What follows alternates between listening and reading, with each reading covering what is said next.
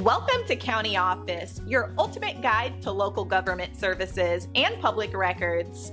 Let's get started. Can I refinance my home without closing costs? Refinancing a home typically involves various costs, known as closing costs.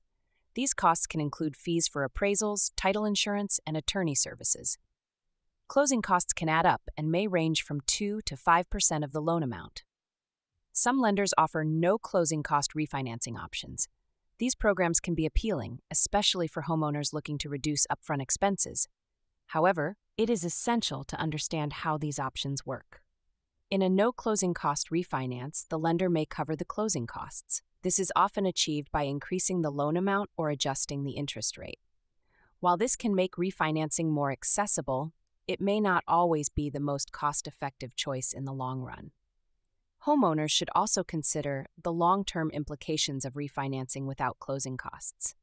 If the interest rate is higher, it could lead to increased monthly payments. Over time, this may negate any initial savings achieved by avoiding closing costs. It is advisable to compare different refinancing options.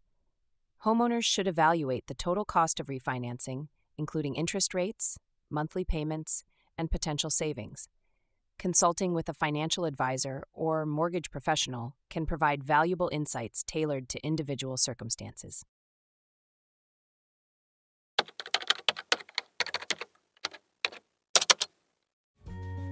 To learn more, check out these links, which you can click in the description below.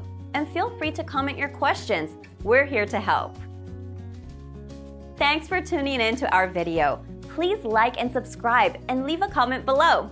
See you in the next video.